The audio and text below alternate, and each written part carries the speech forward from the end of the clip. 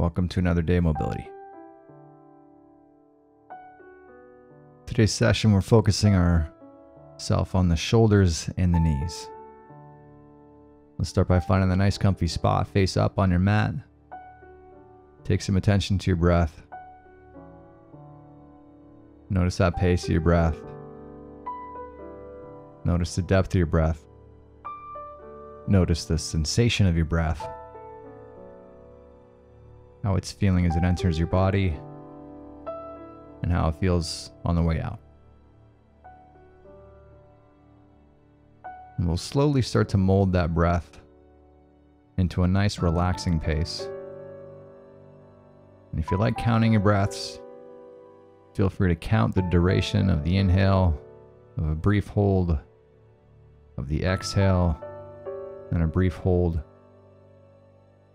at the pace that feels right today. And if you've been doing this for a while, if you've been counting, feel free to gradually extend the duration. What we know is the better we can slow our breath down, the better it slows our physiology down and helps us get into a nice state of calm that allows us to recover, to heal, relieve tension, and improve movement.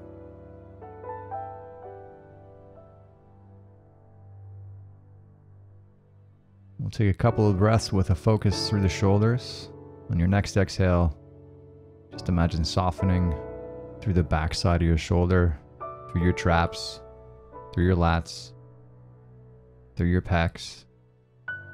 Feel those shoulders sink heavy into your mat. Let's take one more breath. And as you let go of that breath, we'll start our focus on the left bicep today. Let's grab our lacrosse ball. We'll go face down on that lacrosse ball.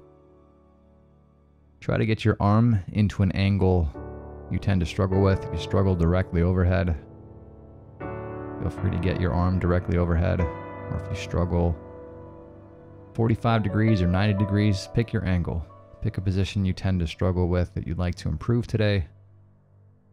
And let's focus in on the bicep and zero in on how that bicep behaves in that position to help free it up in the position of restriction. And settle into the right amount of pressure, the right angle of pressure, and the right type of stimulus. We can roll on that ball. We can roll with the muscle fibers or against the grain through those fibers. We can just sit there passively and let that pressure work its way into the bicep. All these methods work for specific different types of issues that we may struggle with. And the only way to know which methods are best for you in this specific tissue is by testing it out.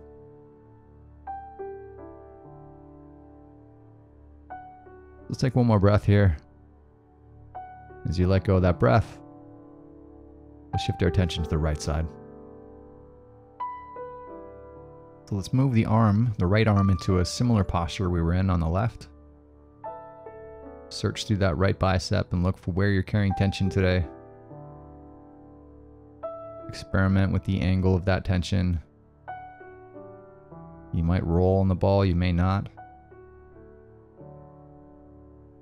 You may know which method works better to help you free up tissue. Everyone is a little different, and the only way to know what works for you is by trying it out. So let this program be your own experiment for your own body, getting more in tune with how your body responds. And which version of these exercises is going to work specifically for you. And once you've settled into that version of this exercise, just take your attention back to your breath. Try your best to sync your breathing with that target tissue. So as you're exhaling, imagine exhaling tension from the bicep. Keep a nice, calm, relaxed headspace.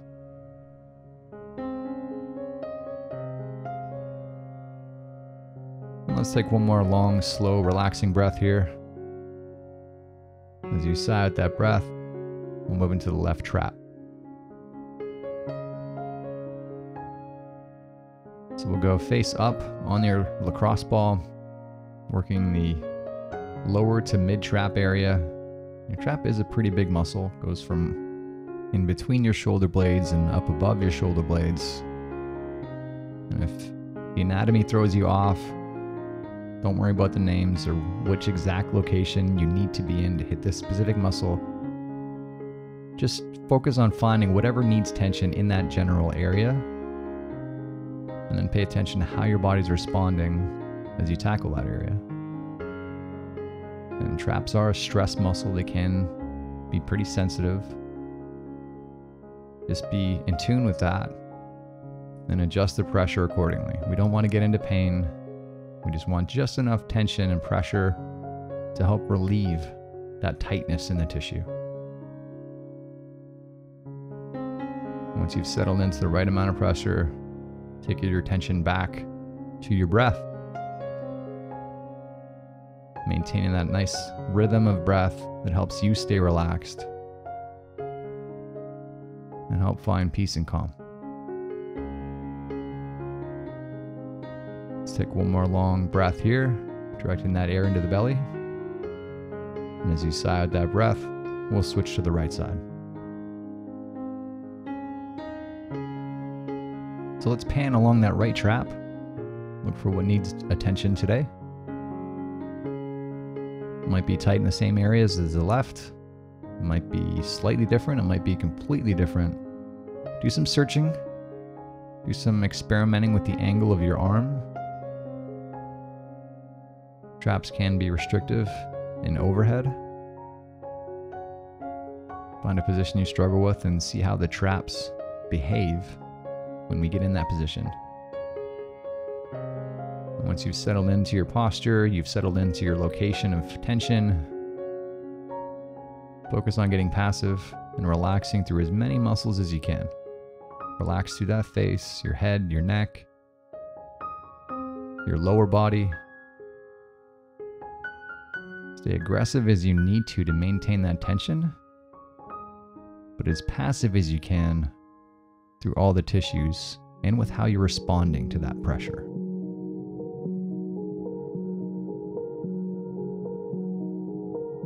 Mentally go into your happy place and allowing yourself to enjoy the moment. Let's take one more breath here. As you sigh out that breath, we'll move into the left first rib. So let's find yourself a post or a doorway and the first rib is accessible through that pocket that sits on top of your collarbone in front of your trap. And for most people, it's about the right size for a lacrosse ball. And if you find the lacrosse ball is not fitting in there well, you can just use the fingertips. Just find a version of this that helps you relieve that tissue.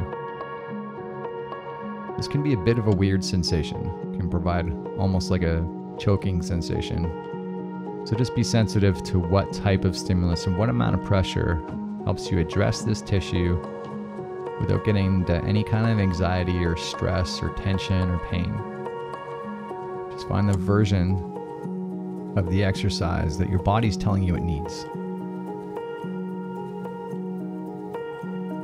And generally, we do want to be progressive. So if you've been working this area for a while and it's feeling okay, starting to get used to it. We can be a little more aggressive as long as we're not getting into pain. We're not creating any nervy issues. Just being sensitive to how your body's responding to everything we're doing here. And mentally staying as calm and relaxed as we possibly can through this whole process. Let's take one more breath here. And as you sigh out that breath, we'll shift to the right side. So again, find that pocket that sits just above your collarbone on the right side. And again, if that lacrosse ball doesn't fit in that pocket like it does for a lot of people, feel free to just use your fingertips and work through that area. In whatever version, again, settle into the right amount of stimulus that helps that area settle down. This is a kind of lesser known area that can really restrict your overhead movement So if you do this while you're in an overhead, so keeping that elbow above your shoulder line, it can be really helpful to help open up this shoulder in the position of restriction. And every chance we get, circle back to that breath. Mentally staying nice and chill. Letting those chill vibes just spread throughout your whole body. Getting as passive as we can.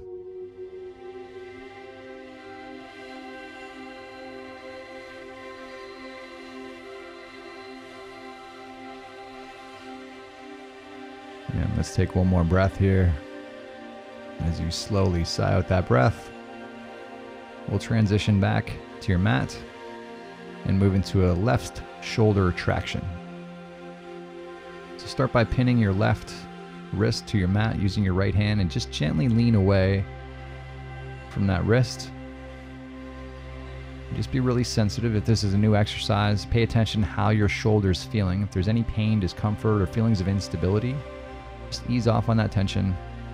All we want is a nice, light pressure release. And the idea is we just want to create space in that joint to allow those surfaces to glide a little better. And again, mentally staying nice and relaxed and calm. Maintaining that nice calming rhythm of your breath. letting that breath calm your mind, and letting your mind calm your shoulders. One more breath here. As you exhale, we'll switch to the right side. So we'll pin that right wrist to your mat using your left hand. Gently lean to the opposite side. Get a gentle, subtle pressure release around that shoulder joint. Find the right amount of stimulus that helps that shoulder relax. And again, you may not feel much here. If you feel a lot, we need to back off. We just want a really subtle pressure release. What we're trying to do is just free up a tiny little bit of space in the joint to get some breathing room in between those surfaces so the joint can glide a little better.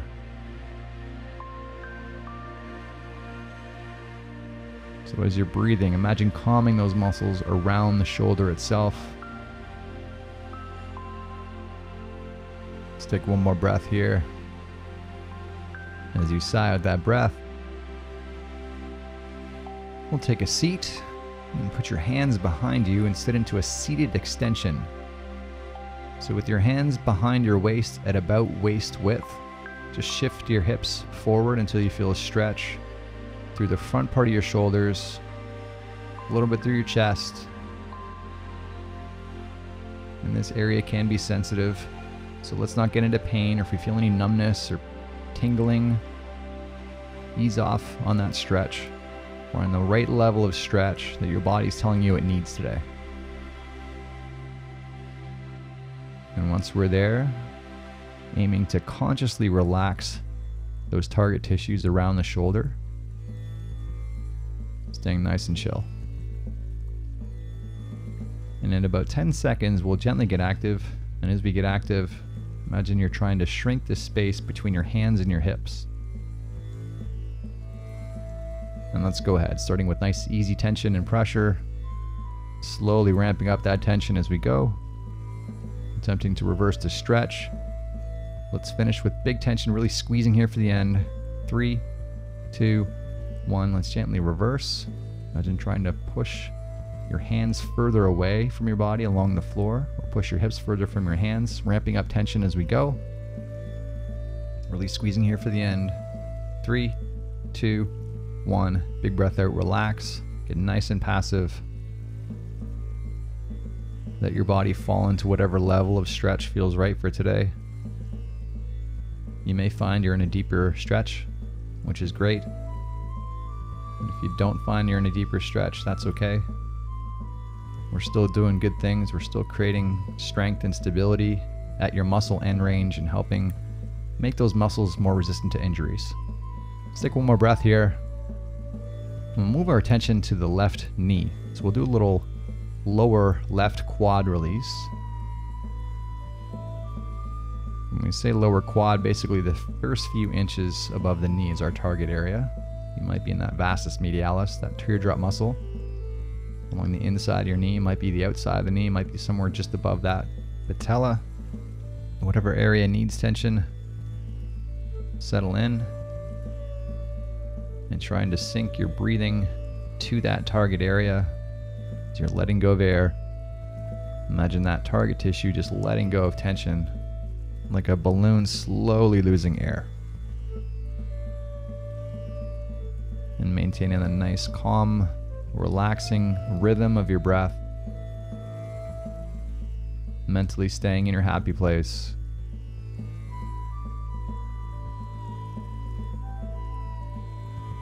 Allowing yourself to enjoy the moment. Turning off any muscle we don't need, relaxing through your face, through your brow, your cheeks, muscles in your mouth, your lower limbs. Constantly scanning through your body for any muscles that are on that don't need to be. Let's take one more breath here. And as you sigh out that breath, we'll move to the right side. So let's pan through that lower right quadricep. Again, it could be near the mid side, it could be the outside, it could be the very middle. Look for what needs attention. Experiment with the type of tension we're applying. And once you've found that stimulus that feels right for today, settle back to your breath.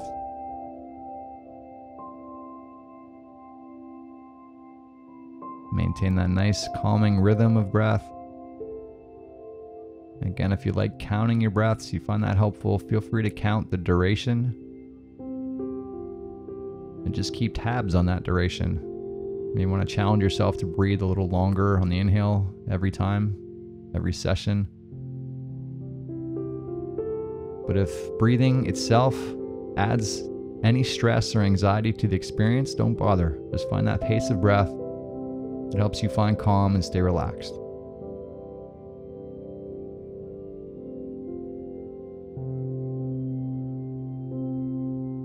This is your routine.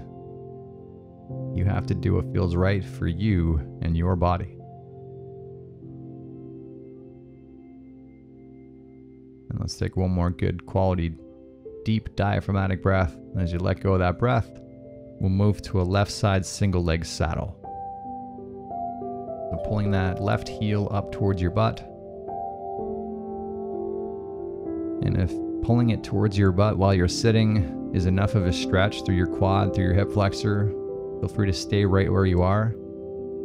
If you've got a little more flexibility, feel free to lean back with your torso. To get a little deeper stretch through the quad, you can lean back all the way onto your elbows, or if you're very flexible, all the way onto your back. Just being sensitive to what your body needs, how it's responding. If we're getting into pain, we're going too far. There is such a thing as doing too much too soon.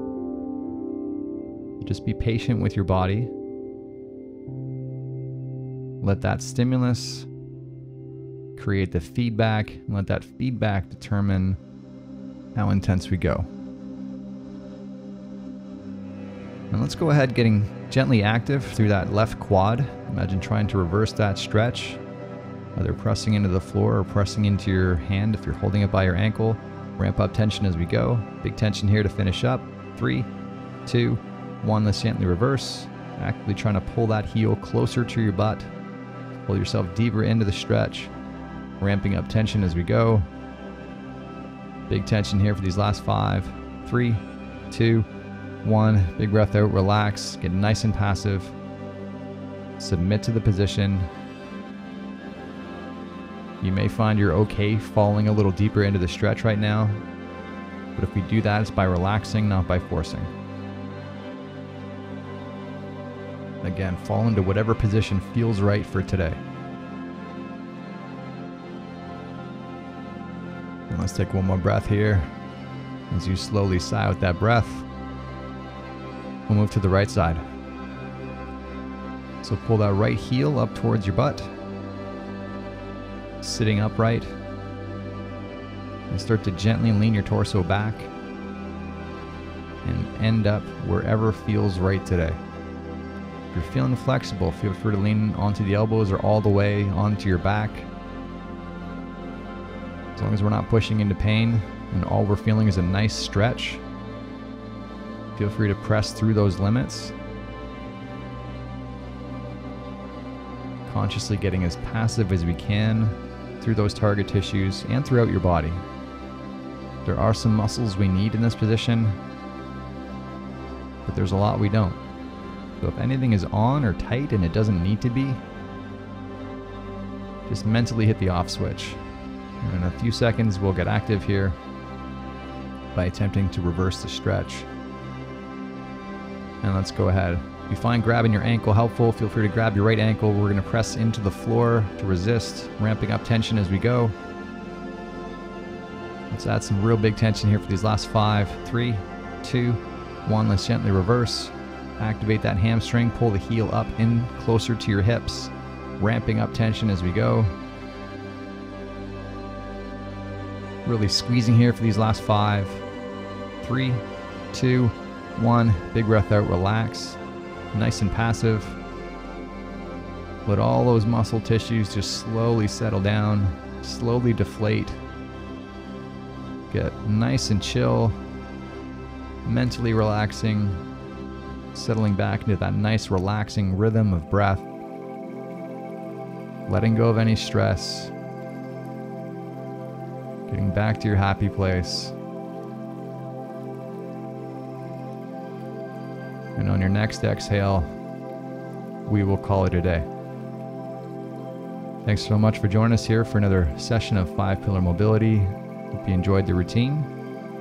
Hope your shoulders and knees are feeling great. If you like the video, remember to subscribe and like the video. We'll see you again tomorrow. Have a great day.